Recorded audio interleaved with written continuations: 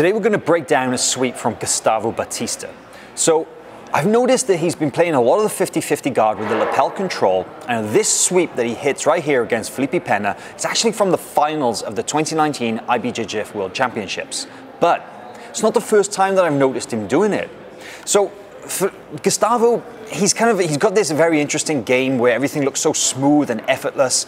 And I remembered that back in 2018 at the Abu Dhabi World Pro, he hit the same sweep against Patrick Gaudio. Everybody knows that Gaudio is this really physically imposing guy, and this sweep is so eye-catching that when I saw him do it again, twice in one match against Felipe Pena, I knew that I had to break it down. So let's take a little look about the, the, key points to exactly what it is that makes this technique work. So let's go back to the 2019 World Championships final and we'll take a look at exactly what Batista is doing right here. Now you can't see much in this position. This is the very start of the technique.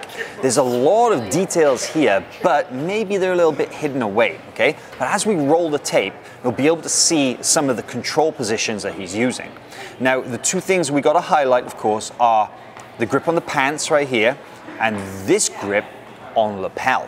Now, why is the lapel so important? Why does he want that control? Isn't it enough just to control the leg? No, it's not. So, two reasons. Number one, that lapel control all the way from the back of the neck right down to the grip behind the knee, it's like a dead weight hanging on the back of Felipe Pena's neck. And it, it makes it very difficult for him to posture up and to stand up. And of course, if Felipe wants to escape from this, if he wants to get his leg out, he wants to bring this right leg, he wants to bring it back and up and over across to the other side of the body. Can't do that with the lapel. It's shutting the door. He simply can't kick his leg back around to the other side. So let's take a look and see what's going on here. So Felipe Pena, unfortunately, he's kind of two steps behind here. Batista is really the one in control here. What's he doing? He's got control of the grips, as we've noticed, but this leg, the left leg, he's already looking to put the foot on the inside of the thigh because he wants to knock that leg out and away and he wants to drop Felipe down to his butt and then complete the sweep. Let's roll it on a little bit. Now, this is a key detail that maybe not a lot of people might notice, but right here, Gustavo, he's actually twisted his own leg inside the 50-50. So now, excuse me, now this knee is actually bent and it's dropped inside. Whereas before his leg was straight or even bent like this, he's actually changed the angle so that now his knee is dropping down towards the mat. And all during this, of course, while that, that's going on, Felipe Pena he's battling away and trying to take that foot from the inside of his thigh. So let's play on. You can see now the foot on the inside of the thigh, he's kind of ready to kick it, right? But you see he's still controlling the leg. But watch what happens when Batista lets go. There you go. So, right here, you can see that the foot on the back of the thigh crucial in knocking away Felipe's base. His foot is actually off the floor right now. But it's that leg. It's the, the leg inside the 50-50 that's doing all the work. It's actually chopping down. So while the, the leg kicking away the base is important, the twisting motion, like a scissoring motion, and the downward pressure of the knee and the shin on top of Felipe Pena's thigh it's actually what's going to take him down rather than just stretch him out. And as you roll the tape now, you'll see, boom, there he goes. Crowd go wild, two points on the board, fantastic. So exactly the same sweep now later on in the match on the other side. And it's kind of rare to see this as well because usually most guys, they have a preferred side for certain techniques. Uh, a, a, lot of guys, they'll, they'll have one guard pass for the left side of the body and they'll have a completely different guard pass for the other side. Well, Gustavo just shows to his versatility that he's actually uses the exact same technique on both the left and right. Is he ambidextrous? Don't know. But it's really impressive that he can do exactly the same technique on both sides. So the initial stage of this little clip right here, it allows us to see how Batista sets the lapel grip. Let's play that on. So you can see now that he kind of pulls it down, pulls it down, feeds it through, boom, gets the grip with the hand. So his hand, his left hand is going, or his left arm is going around the leg on the inside and coming up underneath the thigh to control that lapel. And as we mentioned before, that lapel now a straight line from the back of Felipe's neck all the way down to Batista's hand. Let's roll it on. Okay, exact same sequence. What's happening is Batista's leg, you can't really see because of the angle, but his right foot is searching for that thigh, right? He wants to get the, the, the right foot against the thigh so that he can knock out Felipe's base. What's different in this clip compared to the first one is that Batista never had control of the pants with his right hand. So now Felipe actually thinks that he's a little uh, freer and he feels able to escape this position. Let's roll it on because I really want to highlight exactly how good Felipe Pena's defense is in this position as well.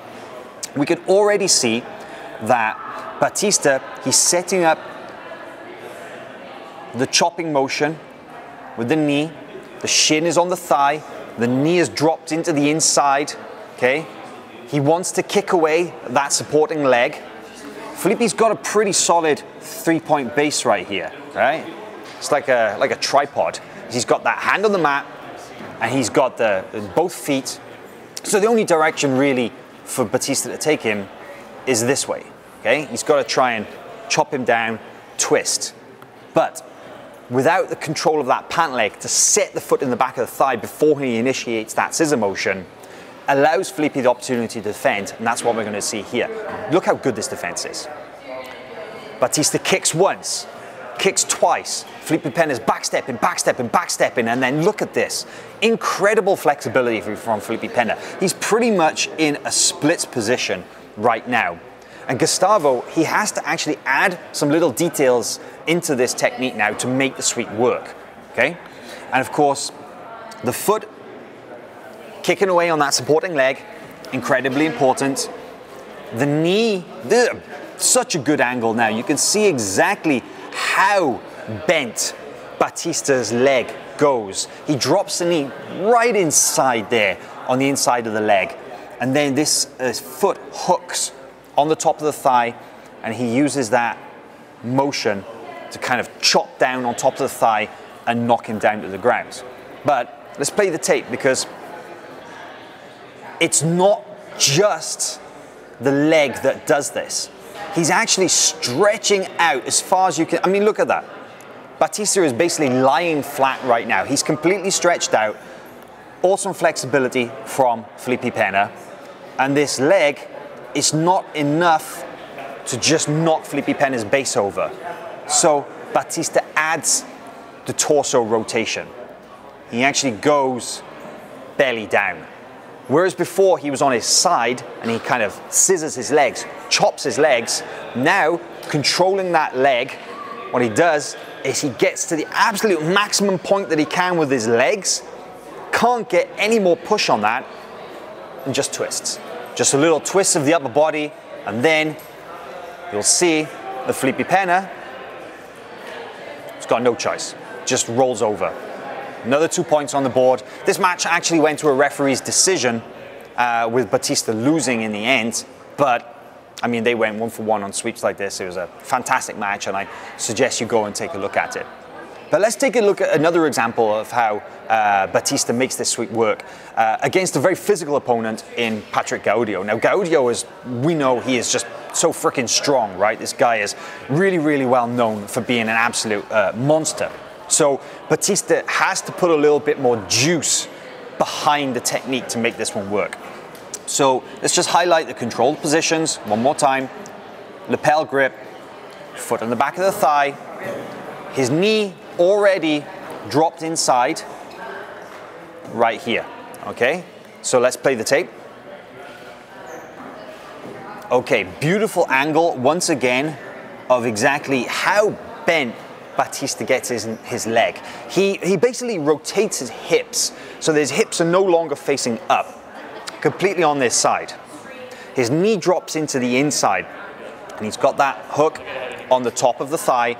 He wants to kick away the leg, he wants to chop that down, but Gaudio, as strong as he is, even the rotation of the torso is not going to be quite enough.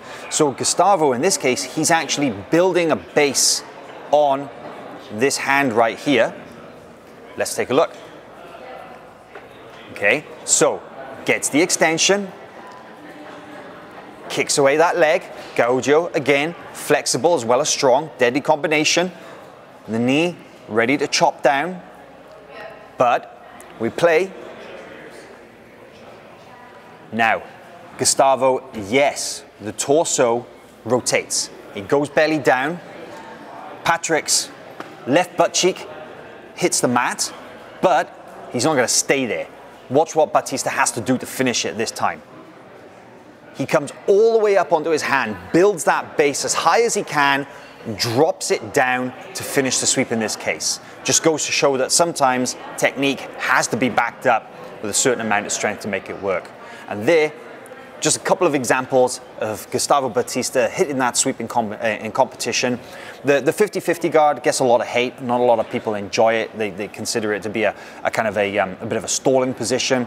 Uh, Batista, he's actually one of the best in the world at playing from that position, and he's got so many details uh, and, and, so much going on in that position. It's not simply a case of seesawing back and forth to get points, but you look at him using those control points to score sweeps against world-class guys like Felipe Pena and Patrick Well, you know it's worth something, right? So take a look, try it out, see how you get on.